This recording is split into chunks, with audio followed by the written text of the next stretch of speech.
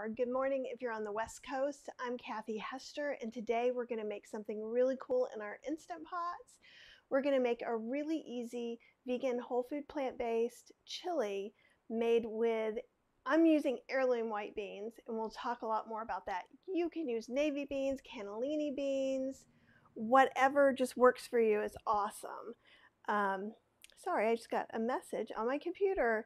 Yay, Joanne! I see you. I see a bunch of people. Hello, everyone. So, luckily, the big error that was on my computer had nothing to do with live streaming. It's a very lucky day today. So, um, we're going to use soy curls, we're going to use white beans, and we're going to make basically a white chili. So, this is a recipe I haven't made in a couple years. So, I'm going to talk you through it. I've got it over here off camera. I've got my recipe so I can reference it. And um, I'll talk to you about some of the changes that I'm making so that hopefully when you're making something from a recipe and you look around and you're like, well, I don't have that exact kind of tomato or I don't have that exact whatever, you will be able to roll with it. Marilyn, yay! Marilyn and Joanne are here and lots of other people. So um, I don't know. I know there was something weird with Facebook groups and my personal Facebook page when I posted this earlier today. So if you're on Facebook and not on a page, you may have to tell me your name. I may or may not see the comments. You are more than welcome to watch this on YouTube. Just look up Kathy Hester and you should see that it's playing. Um, there will be a replay, so hopefully everything will go smashingly. Awesome. Um, Chan from Malaysia, welcome. Um, so, first off, while I'm talking, instead of just kind of hanging out, I thought we'd start the um, sauteing the onions. And so I'll go ahead. I'm using my fancy Duo Evo Plus because I have decided there's one thing I really like about it. And we'll talk about that a little bit more. I can see your name, Cheryl. Okay, so I've heated up just a little water because I'm water sauteing about a half a cup to a cup of minced onions. Those look like funny onions, don't they? Well, those are, and this is why I want to go ahead, they're frozen. So we'll just chop them up. Actually, I really mince these a lot, and it's okay. So one of the things that we've done before, right, is we've done chop and chats with onions where I chopped onions for an incredibly long amount of time. I feel like I should have a trophy back there in my kitchen going, champion onion chopper. But I did get a lot of onions in my freezer. So one of my handy tips that I do is if you get a bag of onions, go ahead and peel them all, chop them all. If you don't want to chop them by hand, use your food processor or your little bitty food processor. Now, you will you may get some I feel like onion snow is what this is. So this is a little more than just chopped. But you know what? Cheryl hates finding onions, so this will make her happy. So I froze it in a Ziploc bag. Actually, I'll bring it out and show you real quick. I'm getting near the end. So this was a whole bag full of it. So I just break off chunks. And so the trick is, is to make it thin enough that you can break it. I made this one a little extra thick in a couple of places. But then you don't have to saute them before anything. And then as this starts to kind of get heated up and gets pliable, I usually use a wooden spatula. I think we talked about me doing this with mushrooms too. I do like to take my frustrations out on food sometimes, fair or not fair. Um, and hello, Jennifer. Awesome. We're definitely going to be talking a little bit more about soy curls in a minute. And while this is cooking, we're going to have lots of time to have the chat. It doesn't cook for long, but it will take a little time to come up to pressure. So, oh, and Marilyn likes my spaghetti monster strainer. I know, it's kind of cute. I got it from Christmas from my friend Faith C, which is kind of awesome. So we're just sauteing these onions right now. And Diane is from beautiful, sunny Northern California. Awesome. And I'm going to mash some garlic while that's doing its stuff. And Vicki says she likes to freeze stuff like that on a cookie sheet. Let me, let me give it, which is a great tip, a cookie sheet so that they separate and they don't freeze in one chunk. Now, and I do recommend that you do that a lot of times with mushrooms. But in a pinch, or if your freezer is too full, that's for you, Joanne, and me. and I love this guy. This is my garlic masher. Let me let you get all up in here. I know, it just, sometimes you just need things that make you smile, right? So we're just going to take it, and this is kind of a heavy duty thing, and we just rock it back and forth. And look at that. I probably only need two of these guys. But again, another way to just make yourself a little bit happier while things are going. But it's definitely best practice to freeze stuff on a cookie sheet. Um, however, if you don't have room for it, don't let that stop you. Don't let it get in your way, right? Um, when I'm doing things that are going to be kind of wet anyhow, like this was real. Actually, I'm going to turn the fan on high. I thought I could get away with the fan on low, but it needs on high. Okay, now we'll be able to let you see with the overhead camera without it being all fogged up. But see how tiny I mean, this is all the next step from pureed onion. It's not pureed, but that's why it works well with this. And so I do that also. Um, here we go. I'm going to take this and I'm just going to scrape it. And I scrape it on both sides. And what I recommend for this, this garlic smusher, is that you rinse it right away. So I'm going to be a good example. And you got, doesn't this look like it's some kind of steaming witch's cauldron? Ooh, it's not, it's always Halloween for me. You guys know that. So I'm just washing up the garlic press real quick so that I won't be sad later on. As long as you rinse it now, it takes seconds. If you let that stuff dry on though, seriously, it can take a ridiculous amount of time.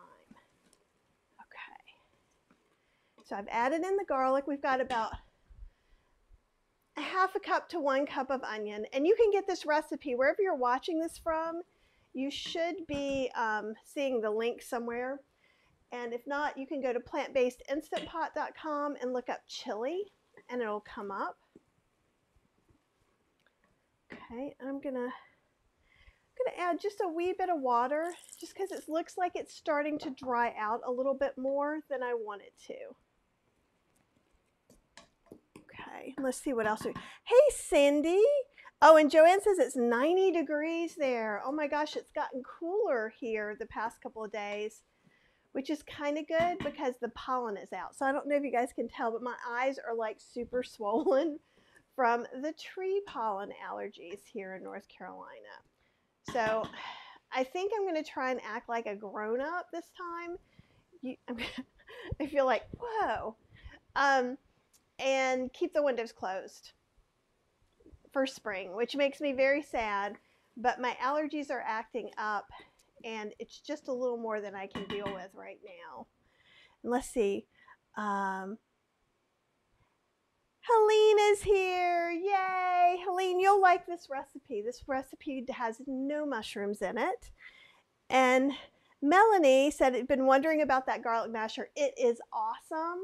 I got mine at a thrift store, as most of you can probably imagine.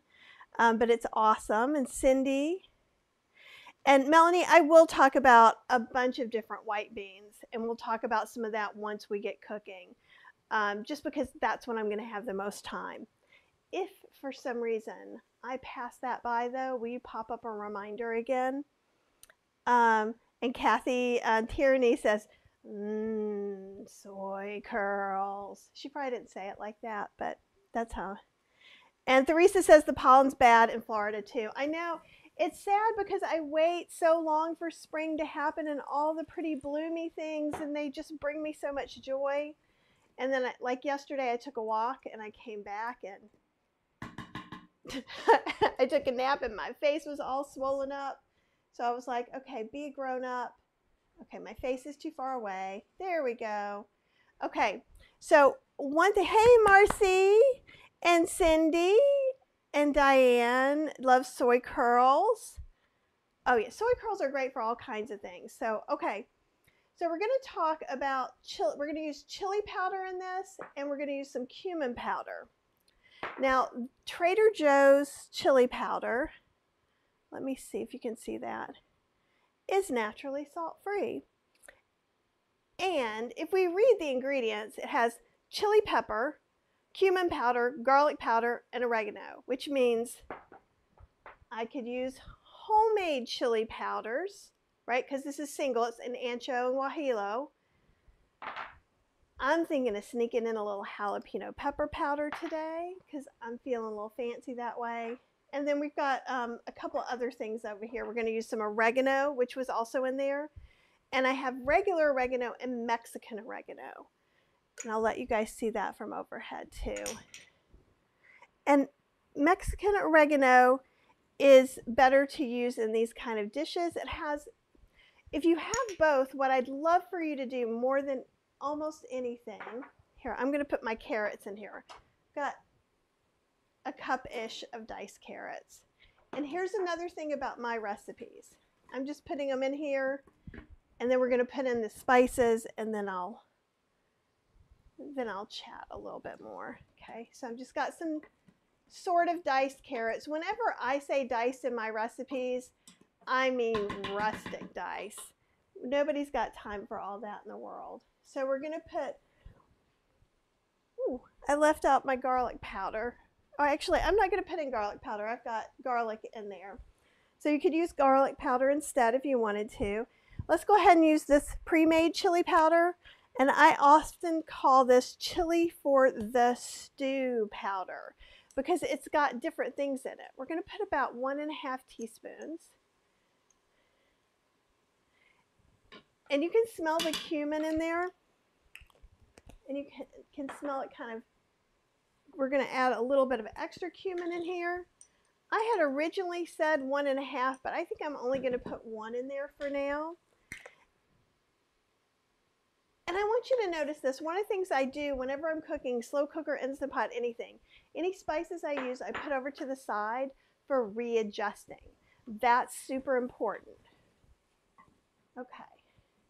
Now, you have to smell it. Oh, it smells pretty good.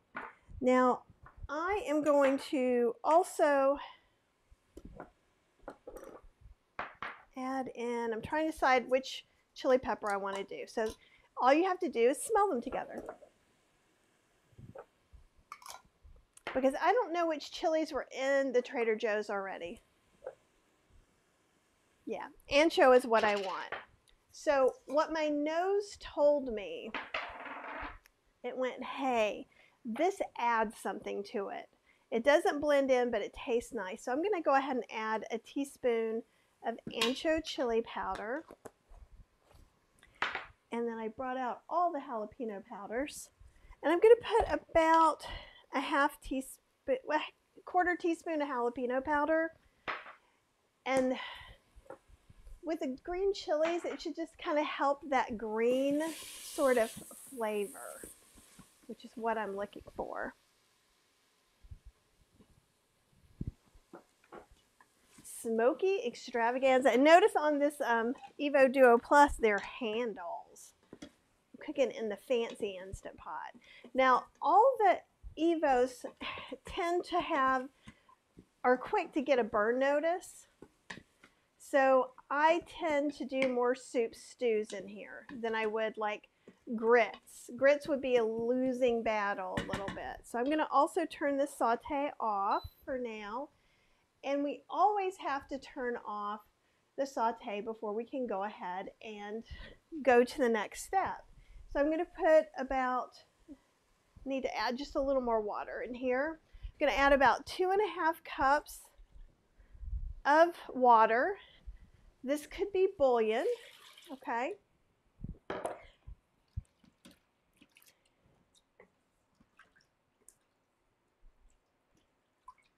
All right, and then I'm going to put in, these are my soaked fancy, fancy um, Rancho Gordo beans, which are, they're like runner beans. They're just white, so they are big. But they are significantly bigger than when they were dry. it's a lot. So these are super meaty, toothsome beans. And you don't need to be using these beans. Why am I using these beans? Because they were needing to be used. That's why. Okay, so we're going to put these in. We're not going to put our tomatoes or anything like that in there yet. And we're going to save our oregano for later too.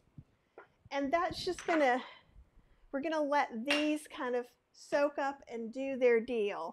If I put acid, and different people say different things. However, beans are a variable in and of themselves. I don't want to add acids and salts when I'm going ahead and doing this. So I'm going to put also about one and a half cups of dry soy curls.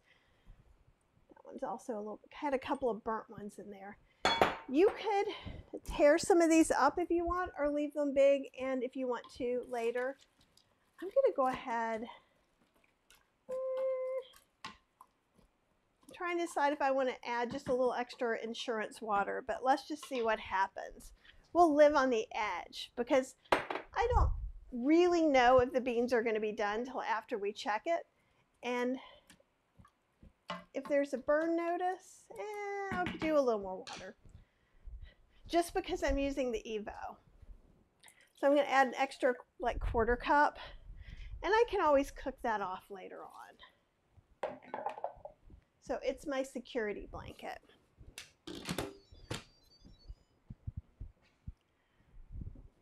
Okay, we are going to cook this for 15 minutes. And as soon as this starts cooking, we'll have way more time to talk. So I'm going to pressure cook, custom, and then go to 15 minutes. I'm even going to say 16 because I did say to let the pressure release naturally. So I could even go a little further, but that's okay. We'll talk about that a little more in a minute.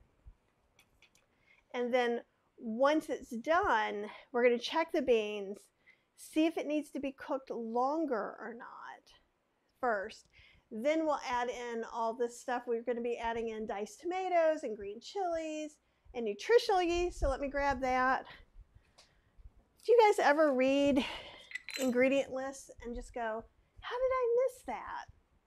That's me today. Another thing too is if you wanted to cook this, you could cook this with a bouillon as long as it's salt free. So if you guys are on YouTube, I have um, a video about how to make the dry bouillon and the wet bouillon, and we can talk a little bit about that too. So let me see what all I've missed because we got time to chat now. All right. Oh, and Theresa said she's been wanting a great white bean chili recipe. Excellent. Marcy, good to see you. Cindy. Pollen is bad in Louisiana too. I know, it's so sad just because it's always right when I want to go outside. Cindy says, Love your recipes. Can we borrow your nose? I don't think it's anything special. I think you too can smell these things. I think when I'm doing spice blends, maybe then I have a little more nuance but you can easily smell and see if two things are together. Just think about high notes, middle notes, and darker notes when you smell, and you'll start to smell them. You'll it's like 3D smelling. How's that? Um, and Marilyn and Joanne are using cannellini beans, which are perfect. You can even use navy beans, Great Northern beans. Um, in the Great Vegan Bean book, I often say white beans because there's 80,000 heirloom white beans, and you know, almost all of them can be substituted for one another too. Okay, and here we go. Hi, Stephanie. Marcy said, did I thaw and soak the soy curls first? So I didn't thaw them. Um, I didn't have them in the freezer, but even when I have them in the freezer, they are just dehydrated, smushed soybeans. So no, I never thaw them. And I did not rehydrate them they get rehydrated in the water as the beans cook. So that's part of what happens here. So you are putting the dry soy curls in.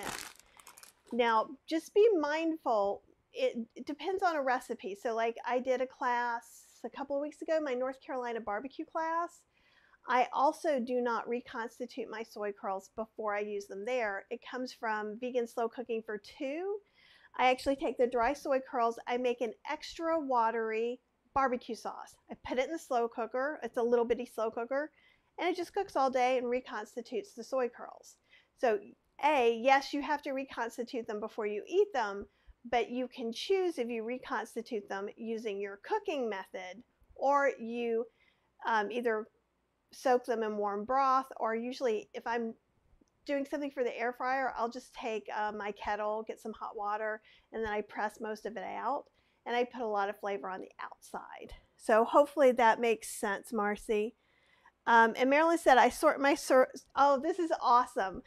Um, let me put that up. Marilyn sorts her soy curls in minced one inch and whole because she buys a 12 pound box. And Joanne is the one who tipped her off on that. I love that. A lot of times, and actually you can kind of see, actually, let's see if we can't see with the overhead cam. There we go. So you see how some in the bottom are much more squishy? Sometimes I even um, will go ahead and mash them some as well. Oh, hey, Karen. It's awesome um, to see you. Oh, and Joanne says she thinks also I have a great nose. Thank you. Thank you all for enjoying that. But seriously, well, and you know what? If it really is me, then you got my recipes. So therefore, you have my nose. Now, I do tweak things every time I make them depending on, you know, like, did I just grind that cumin powder? Because, whoo, then maybe I need to cut that back a little bit. Or is it older? Maybe I need to add a little more. That's where smelling and tasting will get you really far. Um, oh, hello, Deborah. Got home from Trader Joe's. It was always so exciting. I went the other day. Actually, I have some flowers in the house because I treated myself there. Um, okay, awesome. Let's see what.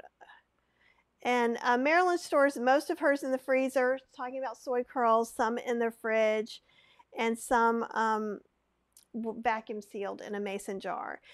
And it kind of depends if it's winter. I keep the house pretty cold, so I'll leave them out. I have some in the freezer right now and some that aren't in the freezer. So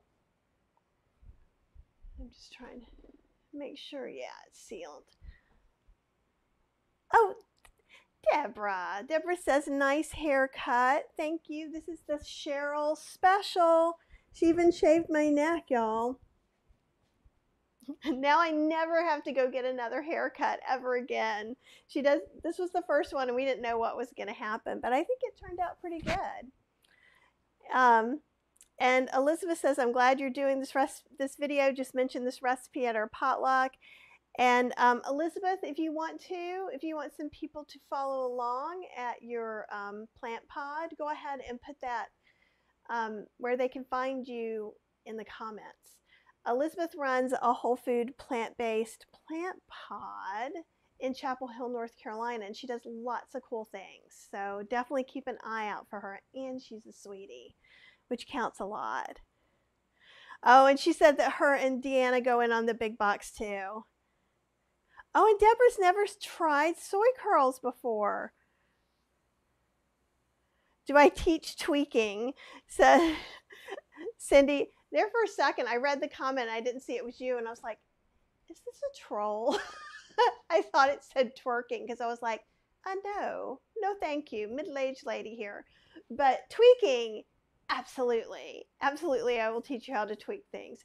And that's what's good about, you know, when I do the lives, if you take live classes with me, because, you know, even when I do my classes, sometimes I'll develop a recipe so you can see the process of that. And I think it's really important because you know, it's it's easier for me, but I was actually just going through all of my classes from the past few years and realized that I've done like 120 recipes.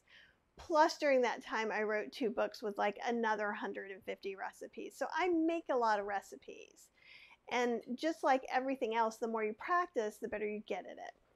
At least one hopes. And you, Stephanie, you can find soy curls on Amazon. You can also get them directly from Butler Foods.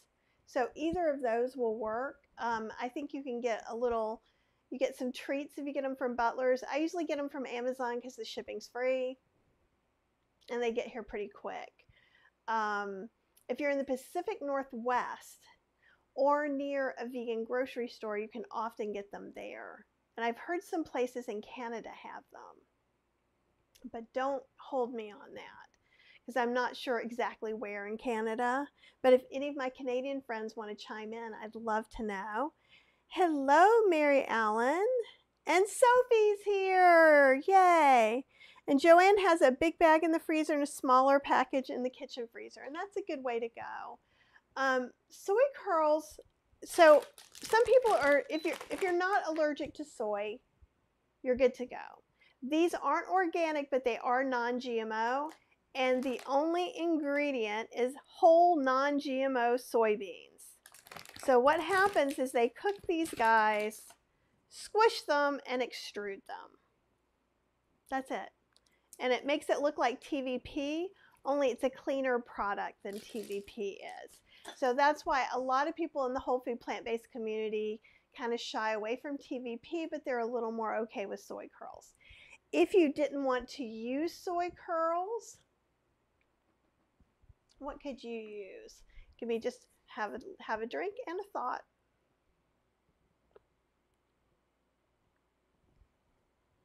You know, you could do extra beans and just leave it like that. If you, because I'm like, if you don't want to use soy curls, you could use something if you're okay with using like, um, like a Gardein chicken strips. The um, scallopini is gluten free. So you could cut that into strips or something like that if you wanted to. If you use seitan, you could put seitan in there. We could crumble in tempeh. Actually, probably crumbling in tempeh would be a really neat chili thing. I would probably steam it first, then put it in. And we might need to up some of these spices too, especially if our tempeh was a little bitter.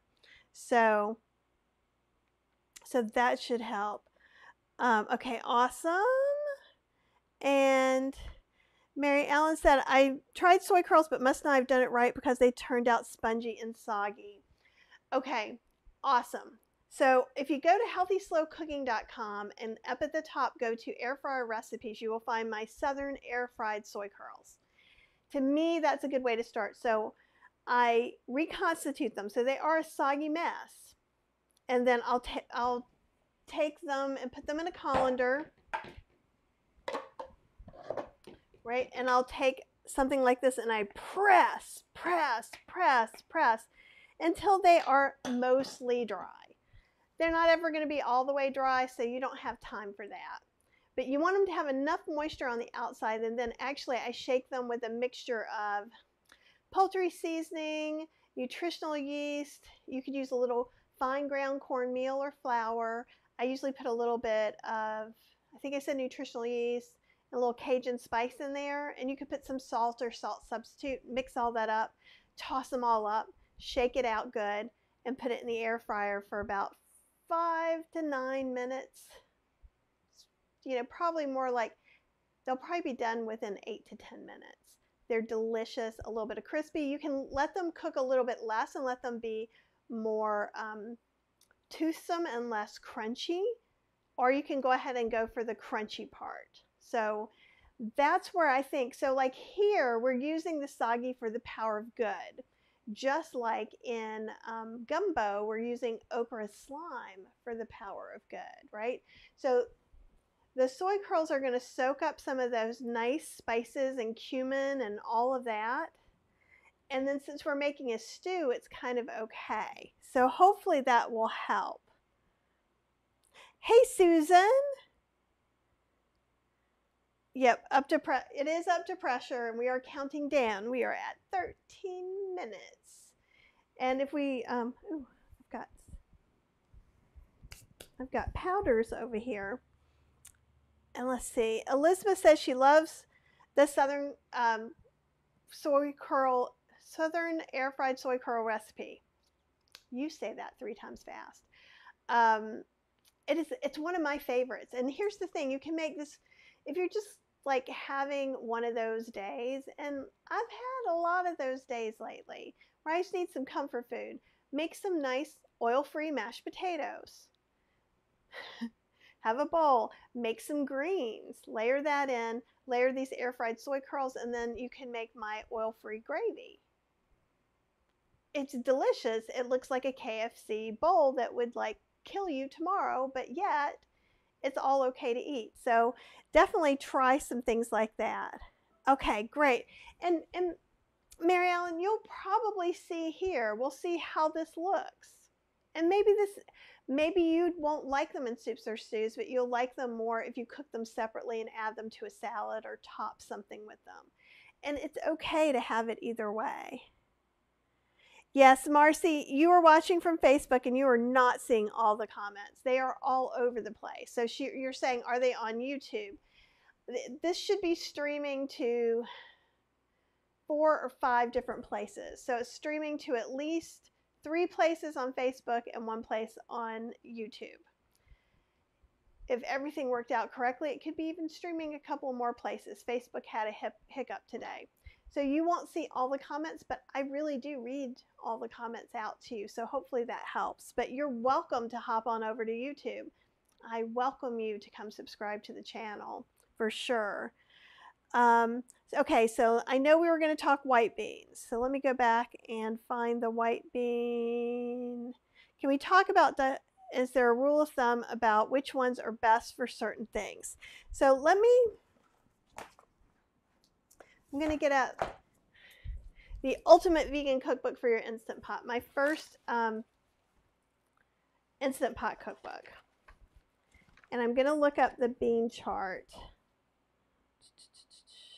67. Here we go. So from the Great Vegan Bean Book, I kind of think of things as like quick cooking beans, in between beans, and really long cooking beans. So sometimes the in-betweens are pretty darn close to the long cooking ones. So like quick cooking ones are beluga lentils, French lentils, the tiny ones. Then next up are kind of brown lentils, red, lentils, split peas, anything that's split usually cooks much faster except for chana dal, which is a split chickpea. Um, in between cooking beans are usually kind of like azuki beans, black-eyed peas. On the cusp of the two of the two are kind of cranberry beans, lima beans, navy beans, pinto beans. Um, and I'm calling long cooking cannellini, black beans, chickpeas, kidney beans, soybeans, and really soybeans are in their own long cooking category. So I'll let you guys just see that real quick. Can you see that? Let's see. Will it focus in enough? I don't know if you can see that very much at all but I did just read it out loud. So a lot of times the bean I use is the bean I have. So I use, I think it was, what were the names of the beans that I used when I made this? So I'm in the Rancho Gordo Bean Club. So I get a lot of unusual beans. And the ones I use in the recipe are cab, cab Caballero, Caballero beans. And Joanne, I know you wrote that out for me, and I'm seeing it like flash in my head like some sort of like nightmare. Um, I think it's Caballero beans. And those were really big. And that's with the picture that you saw that you clicked on to come see this, right? Hopefully you saw that and got a reminder. These also are beans that I don't typically have a recipe for. Now, I done other runner beans. I've had black runner beans. Scarlet runner beans is super um, common in like people's gardens because they do those beautiful trellis. They make those beautiful red flowers. Then you can eat the beans, like green beans from it, or you can wait and let them mature to giant scarlet runner beans.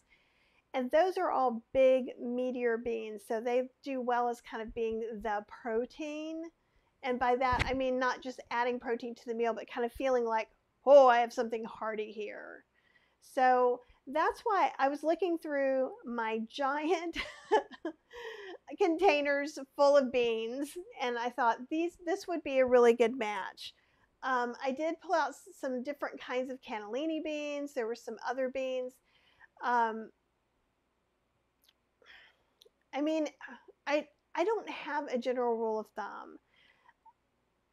If I'm doing something that needs to cook quickest, I'm going to use the navy beans.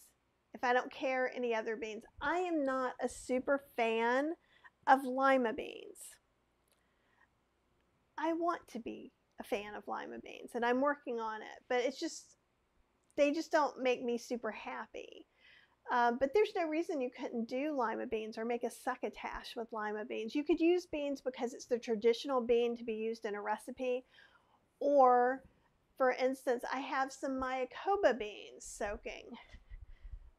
I'll let you guys see these because I'm going to make some refried beans to put in the freezer. I think that's going to so I'm actually going to make some refried beans with these. These aren't necessarily what are the Tex-Mex tradition.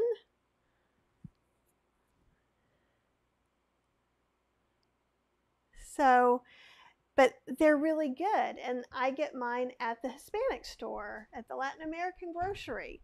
And I cook it with lots of Mexican oregano. So these are a cumin based refried bean that I use but they're so creamy. And depending on where you get them, if you got them on Amazon, they're ridiculously expensive. I would say do not get those. Just use whatever white bean you have on hand or use some pinto beans. Use something less expensive. But if you can go to the Hispanic grocery, they're not very expensive. So that's how I make some of my bean choices. So let me know um, if that helps at all. I know what you're probably wanting me to do is to make a chart of what you should use what for. And I am the worst person for that because sometimes I'm like, I have a quarter cup of six different kinds of beans. I think I'll make a soup to use them up. So I don't really, I might think, okay, this one's to cook faster than that one. So that's to make kind of the broth part, make the broth thicker. This will be in the broth and just try and think through it that way. Oh, and um, you know, if you look up Kathy Hester on YouTube, you can find me. I always forget what it, it's probably like Kathy Cooks Vegan, but I can look real quick. We have all the time in the world, right?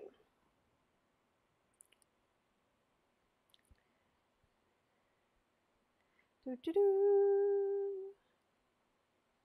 Give me my channel. It is Kathy Hester Vegan Recipes. So that is the name of the YouTube channel. Okay, and let's see what we got here.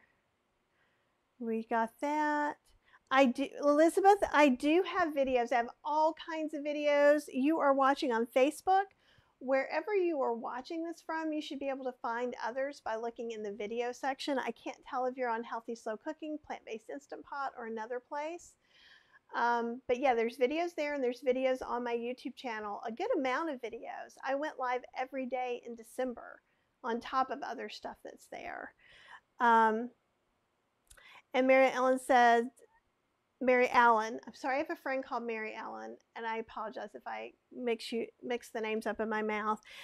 That she has the ultimate vegan cookbook for your instant pot, and you probably have the vegan slow cooker is the most popular one. You might have vegan slow cooker for two.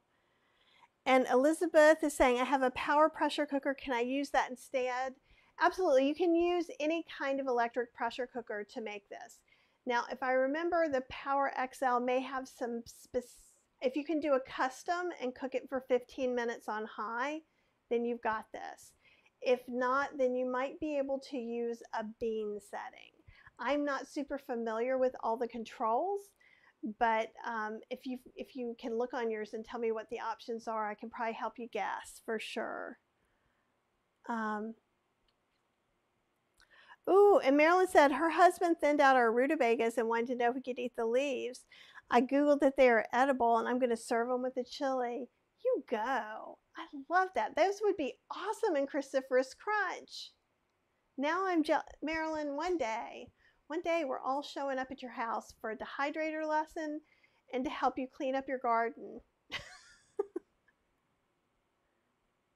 Aha. Beautiful question, Cindy. What do you do when a long cooking bean doesn't finish in the Instant Pot? How do you finish cooking them? We may get to see that with our very own eyes, is what I'm thinking. Um, so one thing to do, so what will happen is when this is done, I'll take two spoons. I'll take the bean, put it here, and I twist and squish. If, especially a large bean, if it just comes into two halves that are kind of solid, that's not cooked. And it's not going to kill you, but it's going to hurt your stomach. It's really not good to digest. It's very hard on your stomach. You always want to cook your beans fully. So, what I would do, and in this case with this Instant Pot, I'll probably end up putting more water in, setting it for another 5 to 10 minutes. And that could happen today. Because like I said, I've never made these beans before. They're a mystery. I'm just assuming they'll probably be pretty close. I'm also not letting the pressure release naturally because we're hanging out. So I'm also suspecting that will make it not be cooked all the way. And I'm okay with that. Now, here's here's the chime that you can't do that. So that's what I do 90% of the time. Possibly throw a little more water in if needed, and because it has to have enough water to get up to pressure. So, like with the soy curls, we're not going to have much extra water, I suspect. But I have a split pea navy be- split pea navy bean soup. So if those navy beans are old, the split peas have become this thick, thick puree, right? So if I take one of those navy beans and try to open it and they don't open, I can't bring that back up to pressure in the Instant Pot because there won't be enough liquid. It would be really hard for me to put, I'd have to put a lot, a lot, a lot of water. So what I do at that point is I turn it to um, saute, add some, I'm going to add some more water for sure, turn it to saute and put a pot lid on top of it and just let it cook as if it was on the stove. So that's what I would do if it's in some kind of thick puree situation already. So hopefully that helps, Cindy.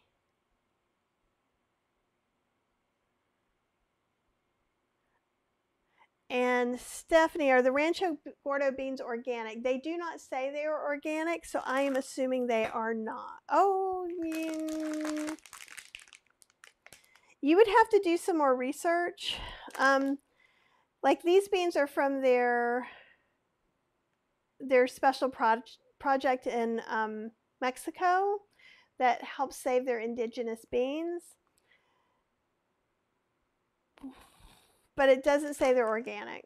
So I don't know if they, you would just have to research it for sure. I love Rancho Gordo heirloom beans and I love what they do. So I'm okay if they're not organic personally. But if you're not, totally get, you know, I, there is another heirloom bean salesperson that does organic, but I can't think of it at the moment. If anybody knows, if you put that in the comment, I'll read it out to everybody.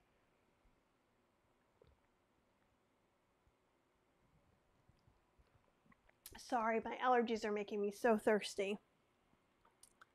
Okay. Yeah, and Joanne saying you can just if you're looking for me on YouTube, if you just search Kathy Hester right now, I'm I seem to be the only game in town for now. Oh, and I love this. Marilyn keeps a little um, mason jar. Just put the little ends of the beans in. And sometimes I'm just like, go ahead and go in there. Like if it's a cup and a quarter of carrots, I'm not going to pull that quarter cup back. I'm just going to put them in there. So that's the kind of crazy person I am. Oh, and Mary is okay. Okay, awesome, Mary. Thank you for letting me know that. So I'll let everybody see that. And Cindy says, How do you know when a dry bean is old? Some beans in some stores cook slower, absolutely, or don't cook at all. All right. this is what's hard. So you can't know. You know, and sometimes I've had things for much longer than I should and they've cooked okay, which is kind of awesome. Um, I've got, I'm going to get my recipe back up real quick. Okay. Um, you don't know how long they were in the store before you bought them. You don't know how long they were in the back in the storage area before they got to the front of the store. You don't know how long they were stored at the warehouse. You don't know how long they were stored at the grower's warehouse. You don't know how long it took them from picking to go to the storage. So you just can't know. So like Rancho Gordo does put like use by date. So these are supposed to be used by this month. So by tomorrow.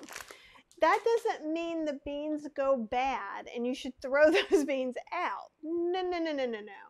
What it means is you might have to cook them longer. You might have to soak them longer, something like that. If it's a bean that I don't know, I try to cook it soaked. I have a variety of soaked bean and not soaked beans recipes. So if you come across, this one is for soaked beans.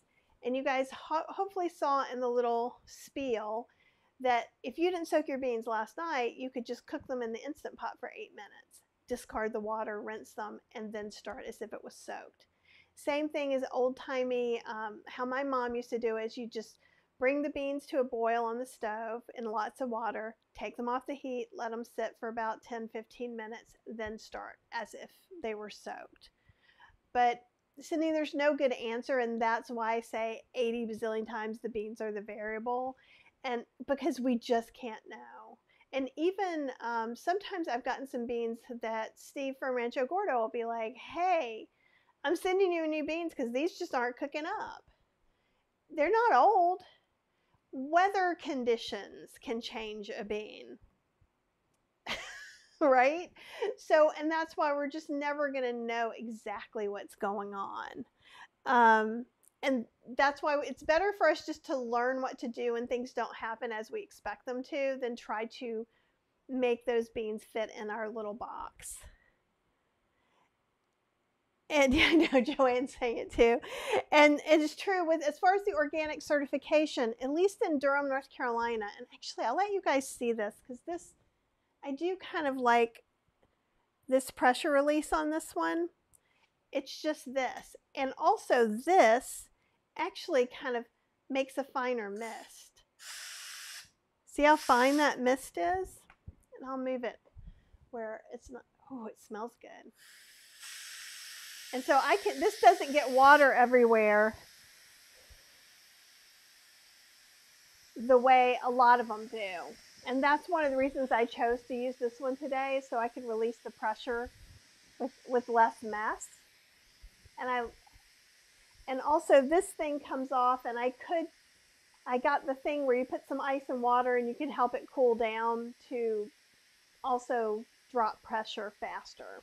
Haven't used that yet. Maybe we'll use that in April. And so as Joanne, Joanne knew what I was going to say because I say it all the time. And I had one guy get really mad because he's like, you should just say beans can't be cooked in the Instant Pot if, if it's not really going to be 10 minutes till they're done. And I'm like, I wish I made beans. I wish I was that fancy that I could just make beans, but I didn't. So, you know, and there's no reason cooking on the stove. The reason people are okay about it is they think they're not doing it twice. You might be cooking them twice as long, but they're on the stove. You just might have to cook them twice in the Instant Pot. And we're all golden. It gets easier. Oh, awesome. And um, Diane says she she also typed in my name to come over there. You know, Mary, the I think there's a two last year there was a two-year waiting list to get into the Rancho Gordo Bean Club. And I'm trying to remember. I think we get it's like $60 a quarter. It's a quarter, not a monthly club. And Joanne, I think you just got in. So if you remember, will you tell her? because I just don't notice anymore because I've been in it for so long. It's just, and then you get like four beans, sometimes a special thing like popcorn and a spice. I got um, in the last one, I got this really nice jar of turmeric. Oh, and it's not their term. I wondered about that. I didn't look at the label till just now. It's um, burlap and barrel turmeric. But I've gotten things like that's the Rancho Gordo Mexican oregano came in my box. The difference between the Bean Club versus some other things. Okay, I'm going to check this. And this one has handles back here. Handle or cover holder. I think that's. Let me get over here. Hello. There we go. All right. So you can see, see how these soy curls are all reconstituted just fine? Ooh, I see some bean covers coming off. But so with this one, I think I'm just going to take it. See, look, that tells me it's done. Okay, let's find, let's, mm, yeah. See, this one does not look done, but I think this may be the only one. So I'm going to set it to the side for a second, put it on my cutting board. If I see more of those, sometimes there's, there's a second one.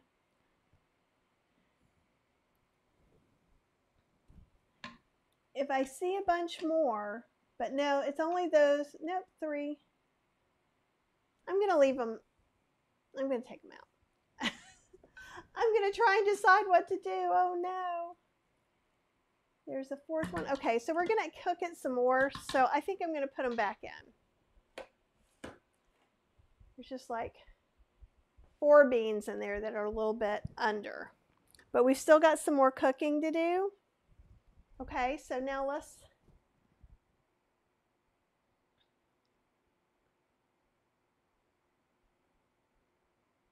let's see.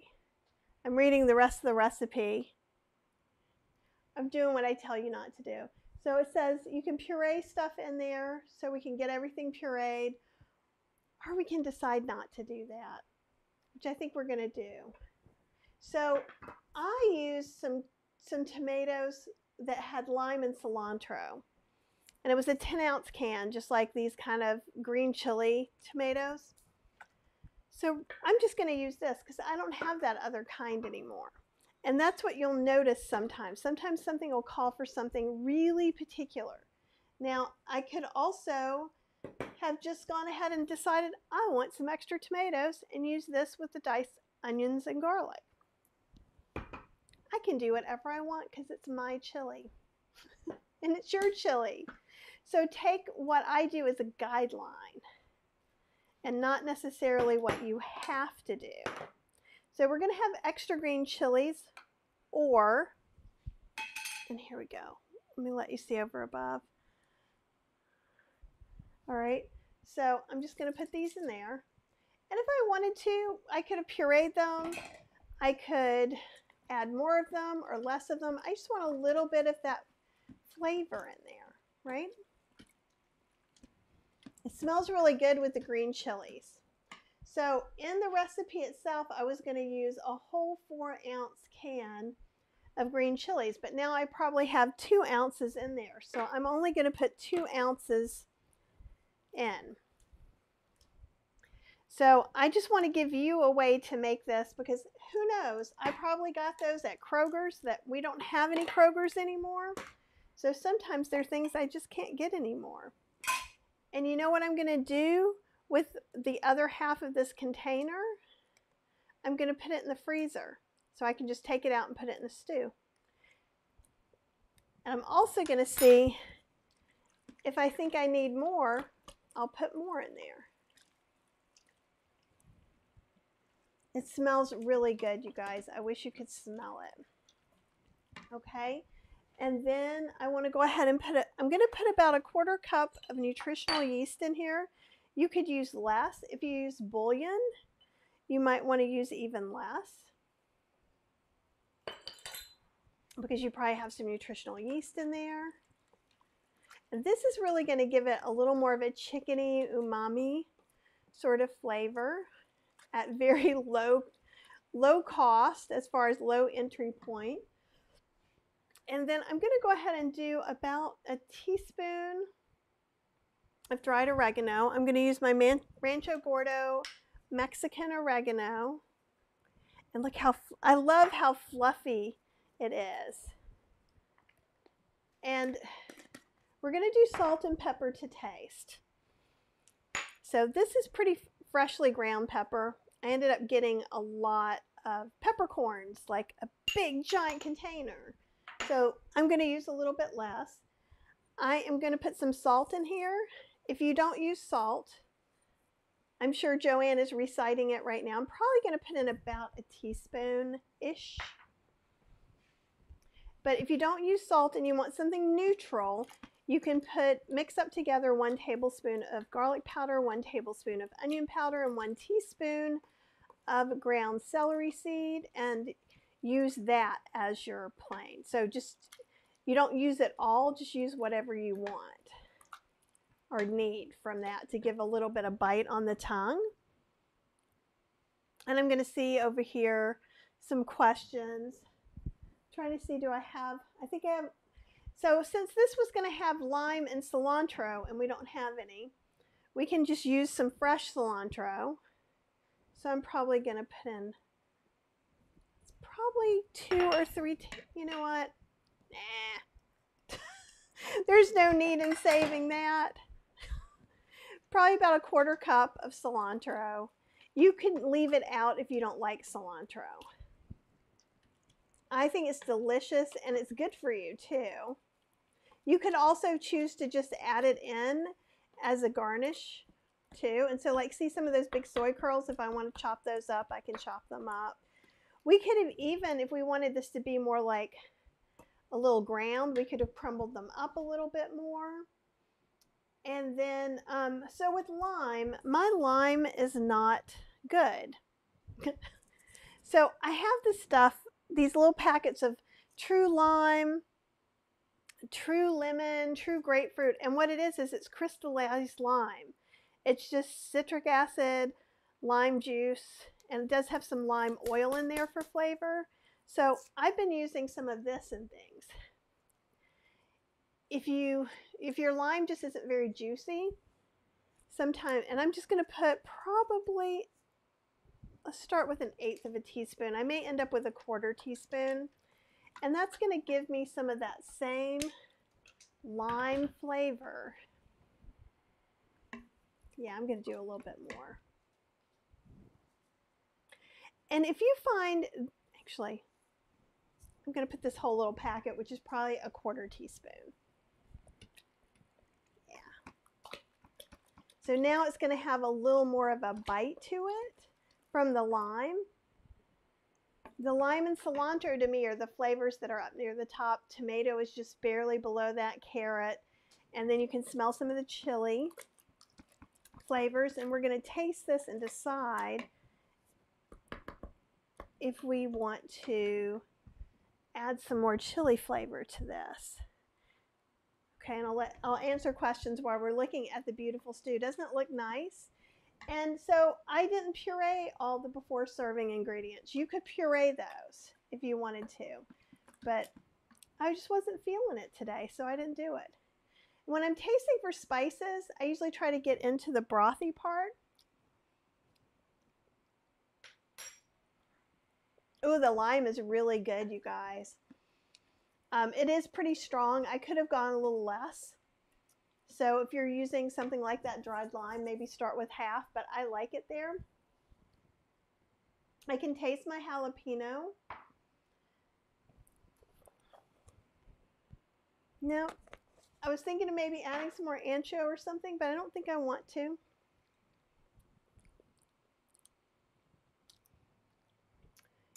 You, could add some more cumin, but I like it right there. So it's got a little hint of bite and I love jalapeno powder. Jalapeno powder is not even in this recipe, but it pairs well with brighter things like dried chilies or avocado. Like it's amazing in guacamole or in black eyed peas. It just adds that little bit of something that's that's nice and you can just put a little bit in so it doesn't make that much of a bite. Okay. Yeah, and talking about organic, yeah, some some farmers in Durham just grow without pesticides. They don't claim organic because they said it's a lot of paperwork and it's an expensive process for a small farm. Um, if that's why Rancho Gordo does it or not, I don't know. Or perhaps it's hard because part of the growers are in Mexico. But I'm sure if you um, went to ranchogordo.com, it probably would explain that somewhere. And Melanie says she read where you can add one teaspoon of baking soda to the soaking beans to help soften them. And I think that probably would work just fine. Absolutely. And sometimes in, in Mexican or Tex Mex food, they'll use epazote, um, an herb. And in Europe, they use bay leaves. And, you know, in Asian countries, kombu, or like for macrobiotic and things like that. There's always something that makes the beans a little easier on your stomach but the very first thing is to cook them all the way. So, and since I'm not eating this till dinner and it's 1.30, I'm, I'm good. I'm good with it just staying, it's going to stay on warm.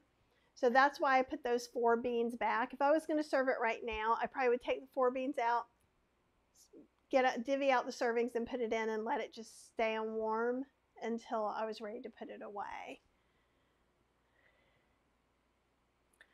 And Joanne says, since I don't know how old my beans are, I'm going to do natural pressure release. Absolutely. And if something says natural pressure release, you could always add minutes to the cooking time as well. So I've done that before. And that's why I think I added an extra minute to this, minute or two. I always just kind of guess because, you know, the world doesn't end if I have to actually cook it some more. And especially, again, when we look here, see, it's not such, it's it's a nice thick chili and as I leave it on warm, if I leave the top off, it is going to get thicker and thicker and then I would not be able to get it back up to pressure. But right now I could add a half a cup of water and get this back up to pressure pretty easily. So I hope that helps.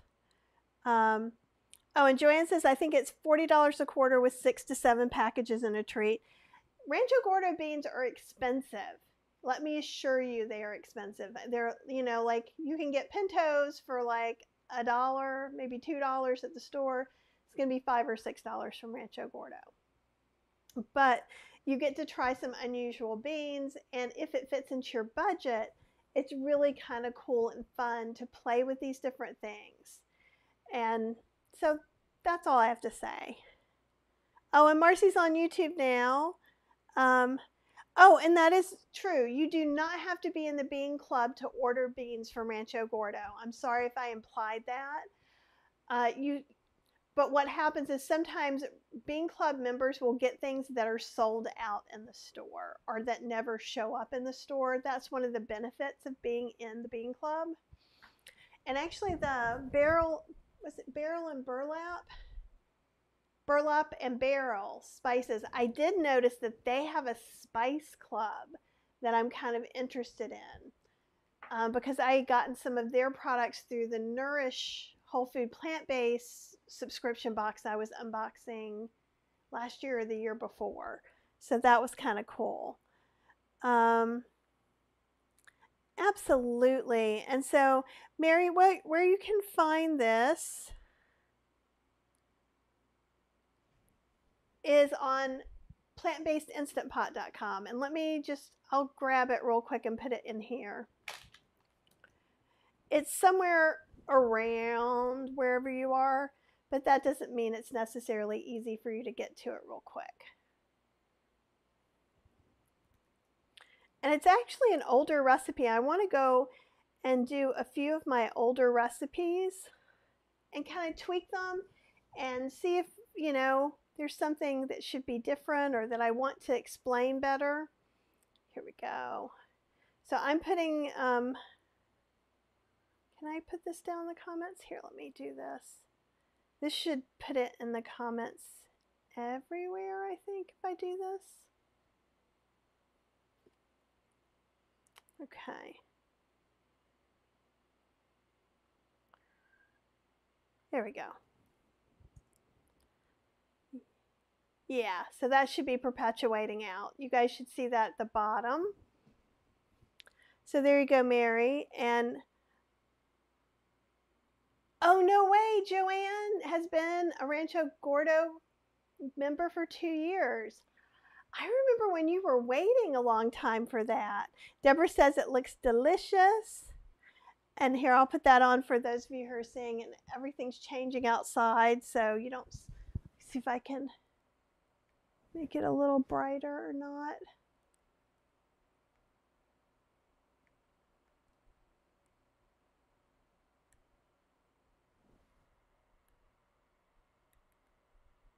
Ooh, there we go. That's a little bit better.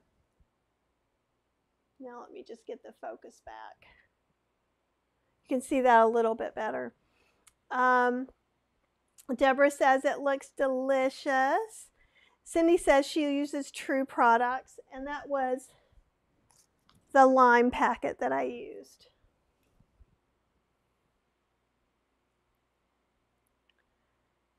Oh, yay, Kelly's here. Awesome. Love seeing you here. I see Kelly in Clubhouse all the time. She is working towards a plant-based lifestyle, and we are here to support you in that as always. And um, Joanne says she has some true products too. And Jennifer says about the organic, you can call Rancho Gordo to discuss. She prefers organic, but after speaking with them, she feels good about ordering. And here's the thing that's what's the most important part is the last part. After I talked to them, I felt good about ordering. If you feel good about it, great. If it doesn't feel good to you, there are plenty of other places you can order things. I'm just trying to, especially when I'm using heirloom beans and hard to get beans, they're almost always going to be from Rancho Gordo, so I'm going to talk about it. But that in no way means that that's where you need to buy your beans. Sometimes I buy my beans in bulk at the Latin American Hispanic market because it's cheaper and it's easier and I'm supporting a local business. So there's always reasons to, to make the decisions for you.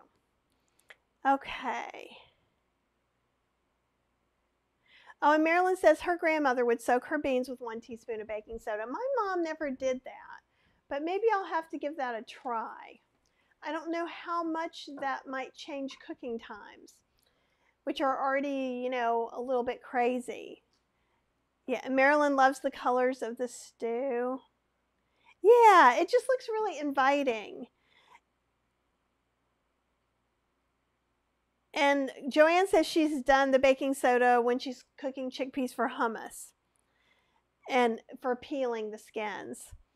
And yeah, if you peel the skins, it totally, um, oh, you're awesome, Kelly. That's all I have to say. You all are, all, everybody here is awesome. You guys are the best.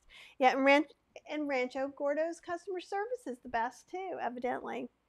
So, do you guys have any other questions or anything? I know I kind of made a big mess here, but you know, you're used to it.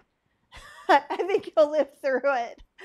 Um, I'm going to try and do some more lives coming up in April and just get a little more stuff together. I am also doing clubhouse rooms. I don't know how often I'm going to do them in April, but today at 2:30 I'm doing a room and we're going to talk about adding more vegetables to your diet. If you don't know what Clubhouse is, it's uh, kind of a social media. It's an app that goes on your iPhone or your iPad. So it's iOS only right now. That should be changing at some point. I don't know. You usually need an invite or you need people who have your phone number in their contacts to be members. So if you know some people who are members, you might try to go ahead and grab your number and username. Just use your name. Um, and it's kind of like an in between, like a conference and a podcast, an interactive podcast. So it's all audio, so you can be in your jammies, which I love. And I've just been talking a lot about vegan food, vegan recipes, and things like that. And I would love it if you guys wanted to come over. I do have some invites. So if I know you, because here's the thing if you are a random stranger to me and I give you an invite and you get me kicked out of Clubhouse, I have no repercussions. but if you if I do know you, which I think I know most of you guys who are on here, you can email me at kathyhester at gmail.com and I give me your phone number because I have to text it to your phone. So it has to be the phone, the iPhone that you're going to use to download the app with. And just solemnly swear that you will be nice and kind to people there. So that I need from you. But I'm happy to get you guys some more of us over there because I think it'll be awesome. And Kelly's there. And Kelly's cool and you guys want to hang out with her. Um, Oh, thanks, Elizabeth. You're awesome. Okay, and, and Marilyn said she doesn't use the um, baking soda now. Interesting. And Marcy said it was a, the baking soda was about the beans not being so gassy. And every culture has something that they do for that. And Stephanie's saying if you don't want to consume nutritional yeast, I'd leave it out. If you wanted to, you could add in some mushroom powder or tomato powder to give it a little bit of umami. But if you don't do that either, I just leave it as is. You could, um, if you needed to, I would taste it and then see. Maybe you'd want to add a little more um, chili powder, a little more cumin. I would just taste it and see what's right for you. For me, I love the boost in the flavors that the nutritional yeast gives. But there is always an option. Apple! Excellent. It's good to see you. I did I started at 12:30. So I know it was kind of itching for the, you know, it was, it was pushing it for you guys on the West Coast. But since I'm doing um, Clubhouse at 2:30, I wanted to kind of get this done and maybe maybe sit down and have some lunch like a normal person would do. So we'll see about that. But it's always good to see you. And Joanne just open the Instant Pot and the beans are perfect. Much applause to you. Whenever I'm in a Zoom call, I'm always like muted doing this when someone has a win. and yeah, kombu for gas works really well too. Bay leaves, epazote Um, there's so many, every culture has something they use all over the world. Um, it's, it's a very interesting thing. Okay, guys. Well, who else? Did anybody else end up actually cooking along? I know Joanne cooked along. Oh, awesome. You're so welcome, Stephanie. Um, and that's how we learn, right? And and I'm a little more haphazard in the kitchen than some people are. And I started off my cookie cooking journey at 18 when I became vegetarian. I didn't know how to cook anything. So I understand. And then when you switch from normal diet to vegetarian or normal diet to vegan, then there's a lot of new ingredients, maybe new appliances that you're dealing with. And it just takes a little time. But once you kind of get into it, the more you taste and smell, the more you're going to be happy with your end product. So I've had some soups and stews like that I've been like, I'd smell it and be like, well, I don't know. And just kind of, if you're not sure if it needs more oregano, smell the two together. And actually, that smells really good. I'm going to add some more oregano. Add regular oregano because that smelled really good. I'm shocked. Um, and so that's why sometimes our animal body, our nose and our taste knows more than our brain does when it comes to some of this. And that's let that be your ending guide. Because the more you tweak, the more it's going to be yours. And I made these recipes not so that everyone can make my food, but that you can have a head start to making your own food. Okay, so every time you tweak some things, and you may make some mistakes along the way. I do. And it's okay that everything doesn't turn out perfect, but you know, 95% of all the things you make that aren't going to burn up, they're not going to be inedible, and they're still probably going to be better than that jar of spaghetti sauce and spaghetti that's your backup. And if that, for those 5% of the times, the spaghetti and and the jar of sauce just is going to work out fine for dinner. So it's okay to experiment. Oh, awesome. Thank you. I think I'm I'm sad because I'm enjoying the beautiful weather from inside. I'm trying to I was thinking if I went outside with a mask if that would help my allergies, but it's going to get my eyes. So, it's going to be very exciting. I may not do a live next week. I'm going to see if I do. It will be near the end of the week. I am going to try and get back into the weekly lives. I get my second vaccine on Monday.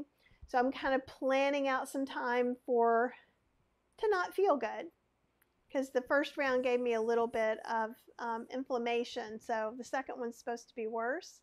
But if for some reason I am miraculously doing well, then I might do one on Wednesday again. Today's Tuesday. Yeah, I don't think it's going to happen on Tuesday. It's probably going to be more Thursday, Friday ish.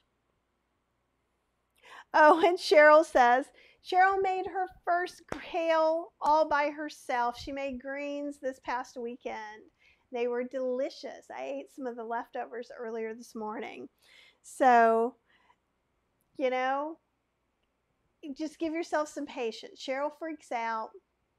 I freaked out when I started, and it's a lot to learn all at once. That's why sometimes I think doing something in the slow cooker, doing something in the instant pot, it's a one pot meal. If I wanted to, I could have served this over quinoa or millet or rice. I could put it in a burrito. I could put it over a sweet potato or a regular baked potato.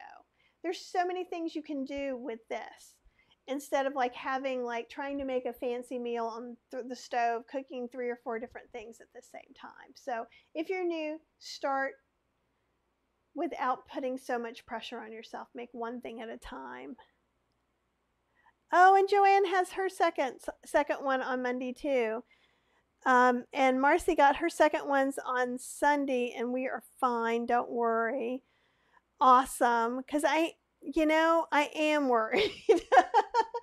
I think one of the reasons I'm I'm a little worried is just because I had more of a reaction than I expected in the first, and I got the Pfizer, so I'd be interested if if you got Pfizer or Moderna. And if you want to email me about this, Kathy Hester at Gmail, that is fine too. You do not need to broadcast your business if you if you don't want to. Um, and I'm just worried with that plus the bad allergies that I'm having. I think that's what's kind of making me nervous. But I'm also super excited to get it and thankful that I was able to get it when I did. They moved our timetable up a little bit. So, but just know if you don't hear from me in the beginning of the week, it's because I'm sleeping.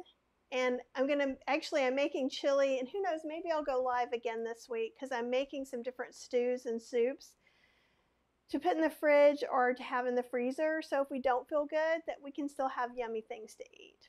So that's what part of the goal is. The other part of the goal is just to hang out with you guys. Um, but anyhow, thanks so much for spending part of your day with me. Um, if you want to do me a favor, just be kind to yourself today. Do something nice for yourself, even if it's just drink enough water. Just, if you're having a rough time, make it an easy goal, you know, and that I will eat today, that I will drink enough water. If if you can not having bad allergies, take a walk, get outside. And if you see somebody else, maybe try to be kind to one other person. But I'm more concerned today with you doing something nice for you. Okay, excellent. Ooh, and I got a tip. Massage my arm for 15 minutes. I did not do that the first time. So I'm excited. Now I have a tip. So you guys got what I got. So, okay. Awesome. And Susan, it's awesome to see you. Cindy, thank you. You have a nice week too. And Marcy loved the show. Okay, guys, I'm going to get ready. Um, again, Kathy Hester at gmail.com if you have some questions or you want to join me for Clubhouse at 2.30. Okay? I'll